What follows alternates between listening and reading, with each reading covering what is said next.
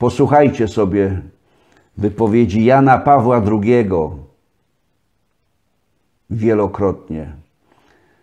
Po raz pierwszy się spotkałem z Janem Pawłem II właśnie w Kaliszu. Nie byłem ani wielkim mistrzem, ani prezydentem II RP. Poproszono mnie na to spotkanie. Trzykrotnie się widziałem. Ja byłem pod wrażeniem. Dlaczego ze mną? Ksiądz proboszcz kościoła świętego Józefa, już dawno nie żyje, przyjechał do mnie do domu, bo wówczas mieszkałem w Kaliszu i poprosił mnie, że Jan Paweł II chce ze mną rozmawiać. Proszę Państwa, trzykrotne spotkanie miałem. Ostatnie było w Morskim Oku i pamiętacie Państwo, że był problem, bo papież Jan Paweł II ochronę wygonił, bo za blisko była.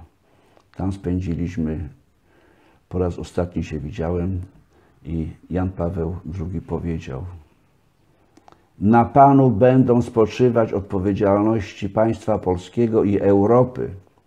Szanowni Państwo, nie wiedziałem, jak się mam zachować. Ale to powiedział Ojciec Święty. Ja idę drogą, którą mi wskazał i idziemy trzecią drogą Andrzeja Lepera, proszę Państwa.